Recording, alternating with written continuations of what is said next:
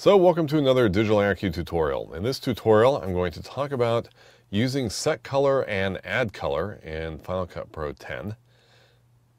A new feature to Final Cut is the ability to click in the window for plugins. So in the past, in Final Cut Pro 7, plugins were not able to have a parameter that clicked on the preview window or the canvas window. And with Final Cut Pro 10, we can do that. And Beauty Box takes advantage of that with the mode pop-up and with the set color and add color. Now these are super useful if you want to either enhance the automatic mask or you have a piece of footage that you need to create a mask manually for. They're very important for that. So let's go ahead and take a look at how they work.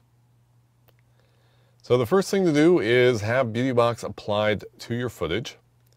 And in this case, we're going to create a mask purely from scratch. So we're going to start off with set color. And what set color does is determines the initial color point. And then we're going to use add color to expand the color range to include all the skin tones that we want to mask out. And so we can either just start off with set color and click on, say, a mid-tone part of the image. We're going to click on our nose right here. And you can see that the dark and the light color are going to change here in a second. And it did just that. Now, one thing that I'm going to be upfront and honest about is that this is a new feature for Final Cut Pro 10. Uh, it didn't even work until 10.0.4. And so the whole thing is a little bit buggy. It works really well, but you you may have to click a few times for the color chips to pick up the color that you're clicking on. If we take a look at our mask, which we can also click on, so now that we've set our color, you can see what the initial mask looks like. And we're going to expand the skin tone ranges and include other parts of the image. And we're going to click on Add Color to do that. Change mode to Add Color.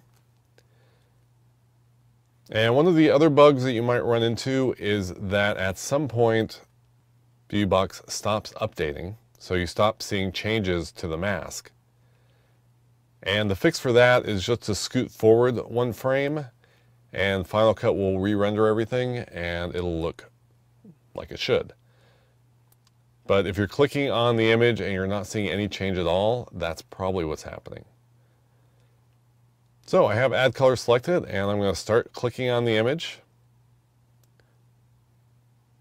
And we should start seeing changes almost immediately. And so with just a couple clicks of add color, I've expanded the skin tone range. We now have a really nice mask. And those skin tones are going to be tracked throughout the entire piece of footage. So once you have it set up on one frame, you are good to go for the rest of the footage. So if we move around, we can see that regardless of what she's doing, whether she's moving her head, and we can move this around a little bit, whether she's moving around, whether she's laughing, whether she's just staring at the camera. All these skin tones are now tracked throughout the entire piece of footage, and all we needed to do was set that mask up on that one frame. And so that's basically all I want to go over. Uh, the mode pop-up is a really critical thing if you want to either manually create a mask or enhance the mask that Analyze Frame gives you, the automatic masking. And if you want to enhance the mask, again, you're going to use this Add Color selection, this Add Color tool, and just click on the areas that you want to add to the mask. And you do want to be careful about it because you don't want to go too far. So again, I've got Add Color still selected. You'll notice that if I turn off Show Mask, the dark areas here correspond to the dark skin, skin areas, the areas that are in shadow. And you're not really seeing much detail there anyways. And the problem with including that in your mask is that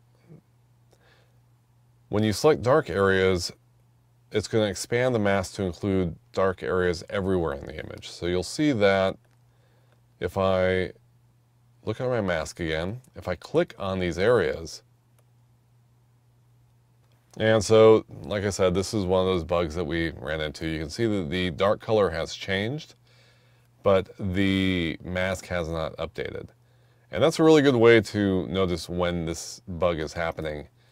Um, when the color chips change and you don't see any change on the mask. So what you need to do is come back down to your timeline and scoot forward one frame and that will update the preview window and show us what our mask really looks like now.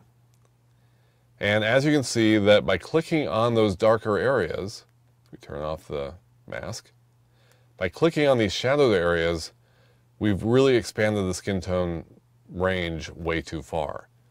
And so you need to undo that and go back to the original that you had. Or you can go ahead and reset the whole thing and use Analyze Frame to get your automatic mask, see what that looks like, and then use Add Color to make a couple quick adjustments.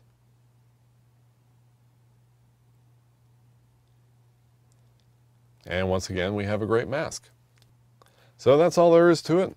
I hope you've enjoyed this tutorial. We have lots more where this came from on digitalanarchy.com, along with free trials and other resources. So please check it all out, and see you in the next tutorial.